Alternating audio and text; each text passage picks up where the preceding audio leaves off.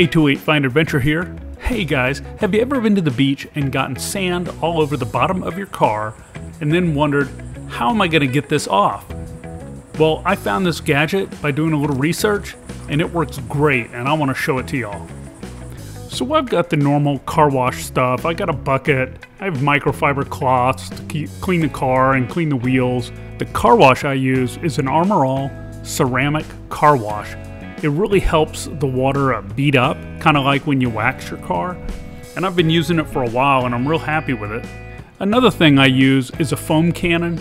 I've just recently started using this and it works really good to soap up the car, especially with this car wash. And then I take one of those microfiber cloths and just wash the car as normal. And it looks great afterwards, probably because of the excess of soap that I've used.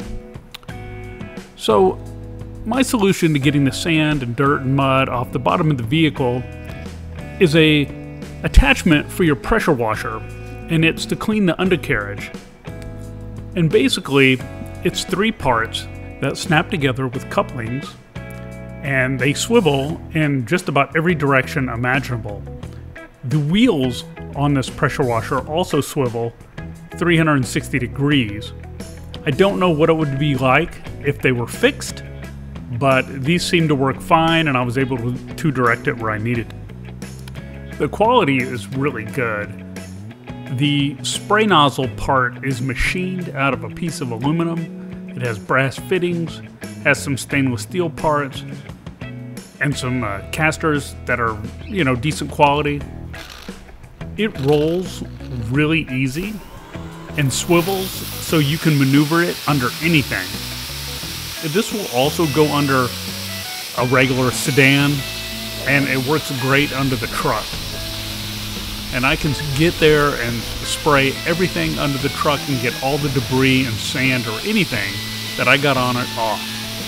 For me, it was just sandy, sandy type water that had splashed up there, and I just wanted to clean it off.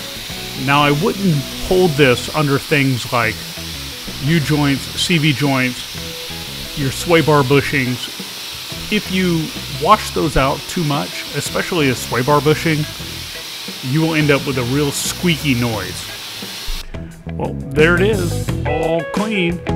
seems like I got everything off that I needed to. Now I'm going to finish up the rest of the vehicle. Make sure I do a good job, get all that sand off of it, and then I pretty much won't have to worry about it. I'll just let rain take care of the rest.